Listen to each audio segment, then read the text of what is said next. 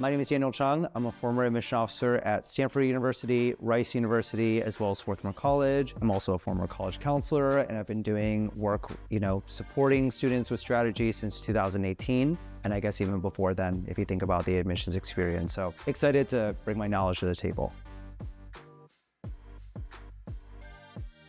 I think that's a really interesting question because it all depends on the individual. So when I was at Stanford in their admissions office, I can confidently say that I have admitted students who have had Fs. They were internationally distinctive in a couple of things, which certainly helped and made it so that we could seriously consider them. That's an extreme rare case. But on the extreme other end of things, you know, we've also had straight A students, you know, be routinely denied as well. So students have, if they have a choice of kind of what to do with their transcript and their curriculum, we want to see their personality come out. We want to see kind of the level of challenge that they had in different subject areas that interested them. Maybe they made a choice to give up something to then supercharge another area of their transcript. And nowadays, there are actually many ways beyond the transcript that are still academic elements that can feed into a student's academic review.